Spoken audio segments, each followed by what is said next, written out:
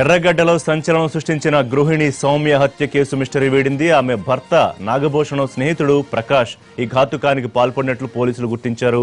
నిందితుడు ప్రకాష్ను పోలీసులు అదుపులోకి తీసుకున్నట్టుగా తెలుస్తోంది. అయితే ఈ విషయాన్ని పోలీసులు బయట పెట్టడం లేదు. ఎర్రగడ్డ నందన నగర్లో సూరజ్ ఆర్కేడ్ అపార్ట్మెంట్లో నివసించే నాగభూషణం భార్య సౌమ్య సోమవారం అర్ధరాత్రి దారుణ హత్యకు గురైంది. ఆమెను కత్తితో పొడిచి చంపి ఆయిల్ పోసి కాల్చినట్లు పోలీసులు గుర్తించారు.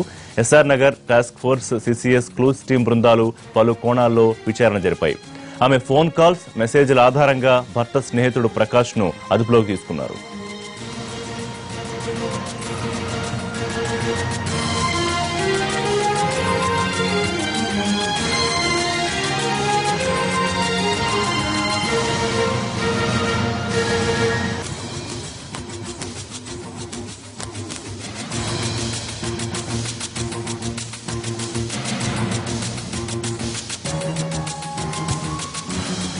ఎర్రగడ్డలో సంచలనం సృష్టించిన గృహిణి సౌమ్య హత్య కేసు మిస్టరీ వీడింది. ఆమె భర్త నాగభూషణం స్నేహితుడు ప్రకాష్ ఈ ఘాతుకానికి పాల్పడినట్లు పోలీసులు గుర్తించారు.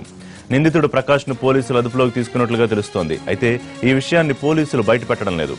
ఎర్రగడ్డ నందానగర్లోని సూరజ్ ఆర్కేడ్ అపార్ట్మెంట్లో నివసించే నాగభూషణం భార్య సౌమ్య సోమవారం అర్ధరాత్రి దారుణ హత్యకు గురైంది. ఆమెను కత్తితో పొడిచి చంపి ఆయిల్ పోసి కాల్చినట్లు పోలీసులు గుర్తించారు. SR Nagar task force CCS clues team బృందాలు పలు కోణాల్లో విచారణ జరిపాయి. ఆమె ఫోన్ కాల్స్ మెసేజ్ల ఆధారంగా భర్త స్నేహితుడు ప్రకాష్ను అదుపులోకి తీసుకున్నారు. ఎర్రగడ్డలో సంచలనం సృష్టించిన గృహిణి సౌమ్య హత్య కేసు మిస్టరీ వీడింది. పూర్తి డీటెయిల్స్ మా కరస్పాండెంట్ రాధాకృష్ణ అందిస్తారు. రాధాకృష్ణ భర్త స్నేహితుడు ప్రకాష్ హంత కూడా పోలీసులు ఎందుకు ఈ విషయం బయటపెట్టట్లేదు? నాగభూషణం కూడా ఎప్పుడూ అనుమానం వ్యక్తం చేయలేదా? ఈ మొత్తానికి ఈ కేసులో ఫ్రెండ్షిప్ పేరుతో దగ్గరై ఆ స్నేహితుని భార్యని మోసం చేసి ఆమెను హత్య చేసిన ఘటన చోటు చేసుకున్నట్లుగా ఇప్పటి వరకు పోలీసుల దర్యాప్తులో గుర్తించడం జరిగింది. ప్రస్తుతము ప్రకాష్ అనే వ్యక్తి ఎస్ఆర్ నగర్ పోలీసుల అదుపులో ఉన్నాడు. ఇతను సౌమ్య గత సోమవారం నాడు దారుణ హత్యకు గురైంది. అపార్ట్మెంట్లో నివసిస్తున్న అమ్మాయి one nought four flat number. అర్ధరాత్రి పదకొండు గంటల సమయంలో అపార్ట్మెంట్లో తన ఫ్లాట్ లోంచి ఒక్కసారిగా పొగలొస్తుండడంతో పాటు పాప అరుపులు వినడంతో స్థానికులు అక్కడ ఉన్న అపార్ట్మెంట్లో ఉన్న మిగతా ఫ్లాట్ సంబంధించిన వాళ్ళు బయటకు వచ్చి చూశారు. అప్పటికే పొగ బాగా వస్తుండడంతో బయట నుండి తలుపు పెట్టి ఉండడం గమనించి వెంటనే లోపలికి వెళ్ళి చూశారు. అప్పటికే సౌమ్య పూర్తిగా కాలిపోయింది. పక్కన చిన్న బాబు ఉన్నాడు. ఆ బాబు మంటల దగ్గరికి వెళ్ళే ప్రయత్నం చేస్తుండగా ఆ అపార్ట్మెంట్ వాసులు బాబును కాపాడారు. పోలీసులకు సమాచారం అందించారు. నాగభూషణం అప్పటికి అంటే అదే రోజు రాత్రి ఎనిమిది గంటలకు అతను డ్యూటీ ఉంది. అతను ఎల్ఎన్టీ లో అసిస్టెంట్ మేనేజర్గా పనిచేస్తున్నాడు. అతను అక్కడికి వెళ్ళడం జరిగింది. పదకొండు గంటల ముప్పై నిమిషాల ప్రాంతంలో ఈ సంఘటన జరిగింది. అపార్ట్మెంట్ సంబంధించిన వాచ్మెన్ మాత్రం ఎవరు కొత్త వ్యక్తులు మాత్రం ఎవరు రాలేదని అతను చెప్పడం జరిగింది. పోలీసులకు ఎలాంటి క్లూ లేదు. కనీసం సీసీ కెమెరాకు సంబంధించిన ఫుటేజ్ కూడా అక్కడ సీసీ కెమెరాలు కూడా లేవు. దీంతో పోలీసులు ఈ కేసుని ఛాలెంజింగ్గా తీసుకున్నారు. ఆమె సౌమ్యకు సంబంధించిన సెల్ ఫోన్ను కూడా అతను ప్రకాష్ తన వెంట తీసుకొని వెళ్ళి ఒక డస్ట్బిన్లో వేసినట్లుగా కూడా గుర్తించడం జరిగింది. ఆ సెల్ ఫోన్కు సంబంధించిన నెంబర్ ఆధారంగా వివరాలు సేకరించారు. ఎవరెవరితోటి మాట్లాడారు ఇన్కమింగ్స్ ఏంటి అవుట్ గోయింగ్స్ ఏంటి అనేది సౌమ్యకు సంబంధించిన కాల్ లిస్ట్ సేకరించి చివరికి ప్రకాష్ అనే వ్యక్తిని అనుమానించడం జరిగింది. అతన్ని అదుపులోకి తీసుకొని విచారించిన పోలీసులకు అతను ఆమెను హత్య చేసినట్లుగా గుర్తించడం జరిగింది. ఆ సోమవారం నాడు హత్యకు గురైన రోజు రాత్రి ప్రకాష్తో పాటు నాగభూషణం సౌమ్య భర్త నాగభూషణం ఇద్దరు కలిసి అక్కడే ఉన్నారు. భోజనం చేసిన తర్వాత ఇద్దరు కలిసి బయటికి వెళ్ళారు ఆ తర్వాత నాగభూషణం జాబ్కి వెళ్ళిపోయాడు. ఇతను ప్రకాష్ మాత్రం తిరిగి పదకొండు గంటల పదిహేను నిమిషాల ప్రాంతంలో అపార్ట్మెంట్కు వచ్చినట్లు కూడా పోలీసులు గుర్తించడం జరిగింది. ఆ, వీళ్ళిద్దరి మధ్య గొడవ జరిగింది. డబ్బుల విషయంలో సౌమ్యకి అలాగే ప్రకాష్కి మధ్య గొడవ జరగడం ఆ తర్వాత ఆమెను కొట్టడం కూడా జరిగింది. ఆమె కేకలు వేస్తుండడం తోటి భయపడ్డ ప్రకాష్ ఆమెను గొంతు కోశాడు. అంతటితోటి ఆగకుండా ఇంట్లో వంట నూనె తీసుకొని వచ్చి ఆమె ఒంటిపై పోసి నిప్పంటించాడు చాలా దారుణంగా ఆమెను హత్య చేసి అక్కడి నుండి పారిపోయాడు. పోలీసులు ఈ కేసులో సెల్ ఫోన్ డేటా ఆధారంగా ఎట్టకేలకు ప్రకాష్ అనే వ్యక్తిని నాగభూషణం స్నేహితుడు ఇతను ఇతన్ని ప్రస్తుతం అదుపులోకి తీసుకొని విచారిస్తున్నారు. ఇవాళ సాయంత్రంలోగా మీడియా ముందుకు కూడా తీసుకొచ్చే అవకాశం ఉంది. రిషి.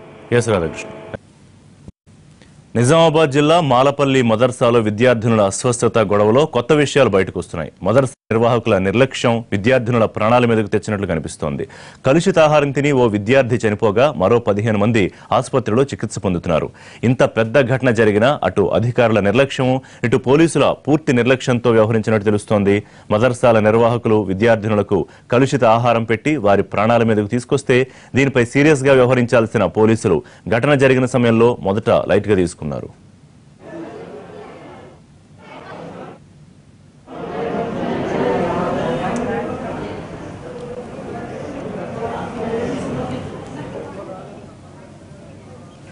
మదర్సాలో రెండు వందల మంది వరకు విద్యార్థులు చదువుకుంటున్నారు. ఇందులో పదిహేను మంది విద్యార్థులకు ఫుడ్ పాయిజనింగ్ అయింది. వారిని ఆసుపత్రికి తరలిస్తే ఆసుపత్రిలో ఏ విషయాలు బయటకు వస్తాయోనన్న భయంతో నిర్వాహకులు తాత్సారం చేశారు. వాంతులు విరేచనాలతో విద్యార్థులు బాధపడుతోన్నా పట్టించుకోలేదు. ఇందులో సుమయ్య అనే విద్యార్థిని పరిస్థితి విషమించడంతో హుటాహుటిన జిల్లా ప్రభుత్వ ఆసుపత్రికి తీసుకొచ్చారు. అక్కడ చికిత్స పొందుతూ ఆ అమ్మాయి చనిపోయింది. దీంతో భయపడ్డ నిర్వాహకులు వెంటనే మిగిలిన వారిని జిల్లా ప్రభుత్వ ఆసుపత్రికి తీసుకొచ్చారు అయితే ఈ విషయం బయటకు రానివ్వకుండా మదర్సాల నిర్వాహకులు చాలా జాగ్రత్తలు తీసుకున్నారు మదర్సా సిబ్బందిపై విద్యార్థినుల బంధువులు ఆగ్రహం వ్యక్తం చేశారు వారిపై దాడి చేసే ప్రయత్నం చేశారు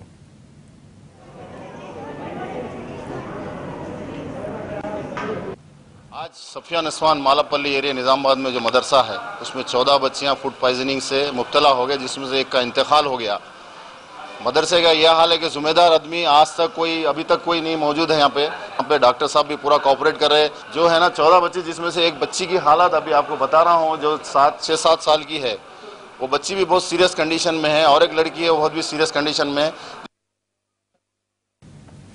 ఈ కేసులో పోలీసుల నిర్లక్ష్యం కూడా స్పష్టంగా కనిపిస్తోంది. జిల్లా ప్రభుత్వ ఆసుపత్రిలో చనిపోయిన విద్యార్థిని మృతదేహానికి కనీసం పోస్ట్ మార్టం కూడా చేయనివ్వకుండా బంధువులకు అప్పగించారు.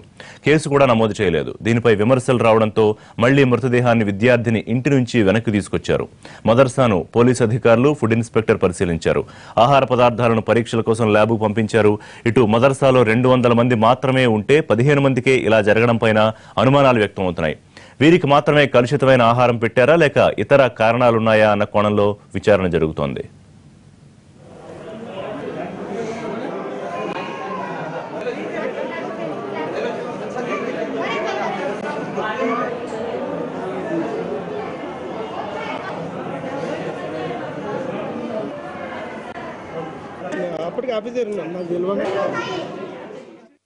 నిన్న రాత్రి ఫుడ్ తినడం వల్ల ఎర్లీ మార్నింగ్ అవర్స్లో పద్నాలుగు మంది పిల్లలకు మోషన్స్ పెడితే హాస్పిటల్ తీసుకురాగా ఒక అమ్మాయి బ్రాడ్ డెడ్ హాస్పిటల్కి వచ్చారు చనిపోయి ఉన్నది.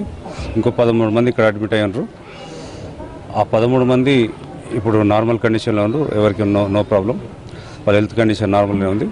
ఒక అమ్మాయి మాత్రం చనిపోయింది. ఆల్రెడీ వాళ్ళ పేరెంట్స్ బన్స్వాడ దగ్గర విలేజ్ అయితే తీసుకొని వెళ్ళారు ఆ బాడీ కూడా తెప్పించి ఇప్పుడు పోస్ట్ మార్టం జరుగుతుంది. ఫుడ్ ఇన్స్పెక్టర్ కూడా వచ్చారు కొన్ని శాంపిల్స్ కలెక్ట్ చేశారు. రాత్రి రాత్రి ఫుడ్ అయితే లేదు కానీ ఈరోజు ఫుడ్కి శాంపిల్స్ కలెక్ట్ చేశారు. ఆ ఫుడ్కి సంబంధించిన మెటీరియల్ కూడా కొన్ని శాంపిల్స్ కలెక్ట్ చేశారు. ఆ దాని ఎగ్జామినేషన్ తర్వాత వచ్చిన రిపోర్ట్ బట్టి వీళ్ళ మీద యాక్షన్ ఉంటుంది.